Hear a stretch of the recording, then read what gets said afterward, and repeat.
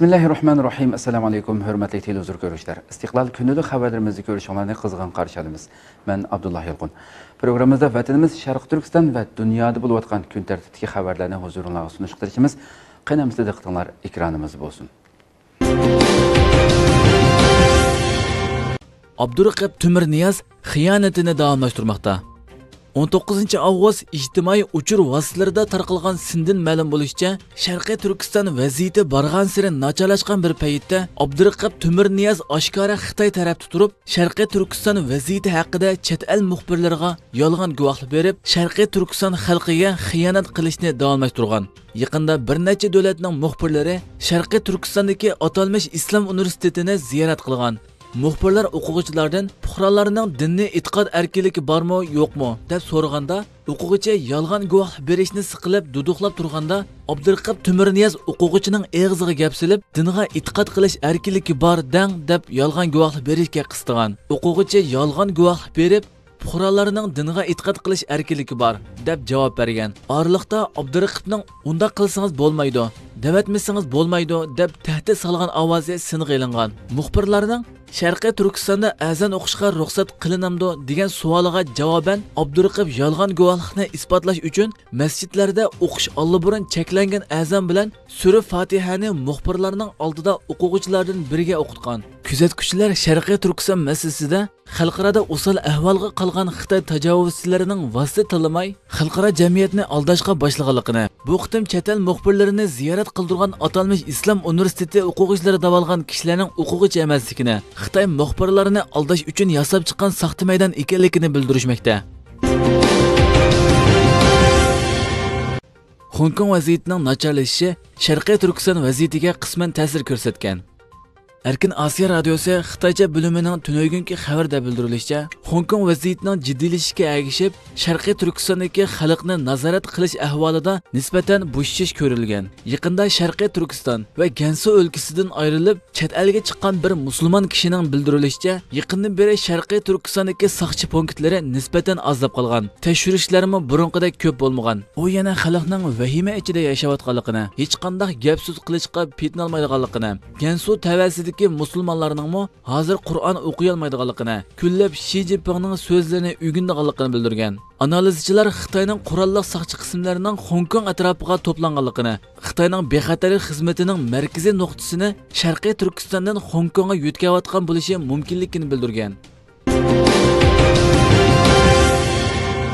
Razil maqsad yushiringan so'di fursati Yangi Zelandiya taratqullarining bildirishicha, bosma haqqi tuvan bo'lganligi uchun Xitoyda bostirilgan chet el nashriyatlarining kitoblari Xitoyning qatmoqat tashirishlariga duch kelgan. Yangi Zelandiyaning nashriyat savdogarlarining bildirishicha, tuvan tannarxni ko'zlab Xitoyda bostirgan kitobida bir parcha Amerika xaritasi bo'lganligi uchun Xitoy doiralarining bir oyga so'zilgan tashvishlarga duch kelgan. Nashriyat savdogari kitobni ulgurtish uchun amalsiz o'z davlatida hassilab pul sarf qilib bostirishga majbur bo'lgan. Bu yil 2-oyda Avstraliya nashriyat savdogarlarimi o'xshash tashvishlarga uchragan bo'lib, agar Xitoyning bir qator tashvishlarga bo'ysunmasa, kitobni bostirishga ruxsat qilinmaydiganligi bildirilgan. Dokladga asoslanganda, Xitoyning matbaachilik shirkatlari tizimlikka asosan Uyg'ur, Tibetlar, Tiananmen voqeasi va kishilik huquqi aloqador zil temalarni o'z ichiga olgan kitoblarni rad qildi ekan. Yangi Zelandiya parlament a'zosi David Seymour bu haqda to'xtalib, Xitoy hokimiyatining yo'lsiz bir hokimiyat ekanligini,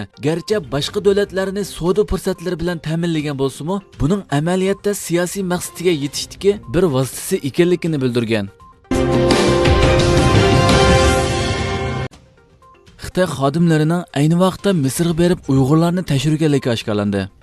Fransiya xalqaro radiosi to'rining tunugungi xabarda bildirilishicha, Xitoy xodimlarining ayni vaqtda Misr soqchilari bilan hamkorlashib, Misrdagi Uyg'urlarning ahvolini tekshirganligi oshkorlangan. Ziyoratni qabul qilgan Uyg'ur yosh o'zining 2017-yili Misr soqchilari tomonidan sababsiz tutqun qilinganligini, 3 Xitoy xodimning Xitoy tilida uni so'roq qilganligini bildirgan. Ayni vaqtda Misrda o'qiyotgan mazkur yosh kunduzdala tutqun qilingan bo'lib, qo'llariga ko'yza silinib, beshiga xalt kiydirilib soqchixonaga opirilgan. U soqchixonada 3 Xitoy xodimni ko'rib hayron qolgan. Xitoy xodimlar uning Misrda nima ish qildiganligi qatorliq masalalarni so'ragan. Misr soqchilari xitoy xodimlarining uni terrorchi deb ko'rsatganligini bildirgan. So'roqdan keyin mazkur yosh misrda sisiq nomi purib ketgan tura turmisiga olib o'tilgan. U ikki oydan keyin qo'yib berilgan bo'lib turmadan chiqqandan keyin turkiyaga kelib olgan.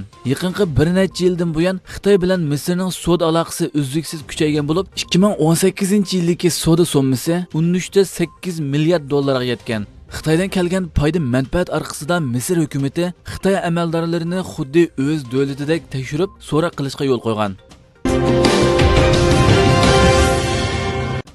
Hongkongda yana bir qitimliq million kishilik namoyish o'tkazildi.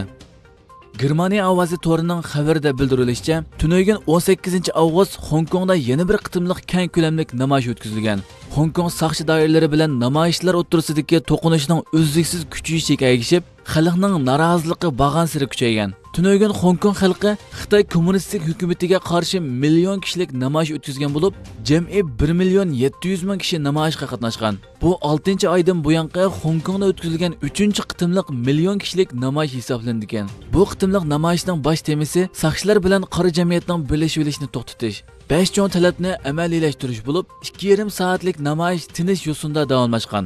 Namoyishchilar Hongkong xalqining Hongkong hukumati va Hongkong soqchilar tarafidan yetkicha haqoratlanganligini, Xitoycha bostirish usulining Hongkong xalqiga qo'llanishga boshlanganligini, Hongkong amaldorlarining haq huquqini qo'g'dash uchun qarshilik ko'rsatayotgan namoyishlarni haqoratlab, suvarak deb atayotganligini, buning ayni vaqtdagi natsist Germaniyani eslatadiganligini bildirishgan.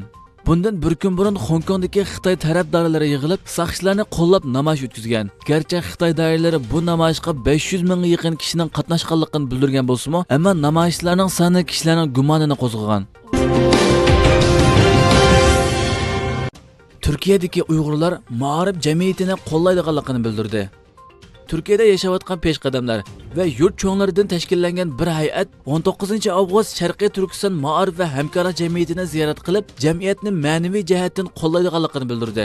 Mehmonlarni Sharqiy Turkiston ma'arif va hamkorlik jamiyati raisi qo'shimcha tashkilotlar birlik raisi hidoyatulla O'g'izxon ishxonsida kutib oldi. Mehmonlar hidoyatulla O'g'izxon bilan Sharqiy Turkiston vaziyati va Turkiyadagi Uyg'urlarning ahvoli haqida qizg'in suhbatlashdi. Mehmonlar Sharqiy Turkiston ma'arif jamiyatining uzundan beri o'z maydonida tavramasdan ching turib xizmat qilayotganiga rahmat aytib, xotira buyumi hadya qildi hamda ma'naviy jihatdan qo'llaydiganligini bildirdi. Angliyaning Hongkongdagi konsulxonasining bir xodimi Xitoydan nazorat ostiga ilindi. 20 avgust Turkiya ovoz radiosi xabarida bildirilishicha, Angliyaning Hongkongdagi konsulxonasining bir xodimi Xitoydan nazorat ostiga ilingan. Angliyaning Hongkongdagi konsulxonasida ishlaydigan 28 yoshli Simon Chang Shinjindagi xizmat ziyoratini oxirlashtirib, 8 avgustda Hongkongga qaytib keladi. Biroq Changning singlisi Guardian gazetiga bayonot e'lon qilib, shu kundan buyon Changning iz derikining yo'qligini Uning oxirgi qitim chegaradan o'tishga tayyorlandim. Menga duo qil, deb uchur yozganligini bildirdi. Angliya tashqi ishlar va millatlar ishlari ishxonasi Chingning Xitoyning noma'lum bir yerida noma'lum sabablar tufayli nazorat ostiga ilinganligini uqtirdi. Hongkongdagi jinoiy ishlar gumondorlarining Xitoyga qaytarib berilishga osonchilik tug'dirishni mazmun qilgan qonun loyihasiga qarshi boshlangan namoyishlarning Xitoyga qarshi namoyishlarga aylanib ketishdan keyin yillardan buyon Hongkongda haqqi borligini ilgari surib kelayotgan Angliya bilan Xitoy orasida sug'oqchilik yuz bergan edi. Hurmatli televizor ko'ruvchilar şuna qilib bugungi xabarlarimiz mushu yerda oxirlashdi atigi xabarimizni ko'rishgacha sizlarni janobiy Allah topshiramiz Şuna qilib programma oxirida ekran orqasidagi barliq xizmatdoshlarimga köptün ko'p rahmat aytaman assalomu alaykum va rahmatulloh